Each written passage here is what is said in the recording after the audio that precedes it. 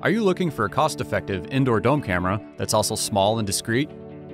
Introducing the CE D10 HDL, a 2-megapixel EXSDI mini dome from Clinton Electronics. With its small form factor, the CE D10 HDL is ideal for budget-conscious indoor applications that demand HD quality.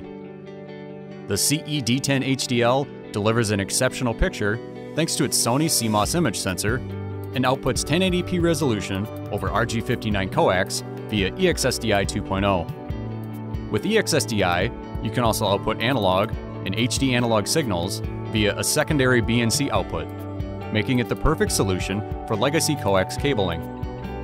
Installers can easily make OSD menu adjustments with the built-in joystick on the cable.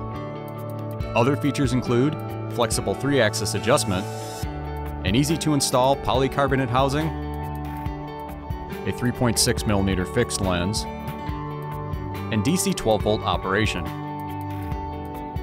The CE D10 HDL from Clinton Electronics, a 2-megapixel EXSDI mini dome for cost-sensitive indoor applications.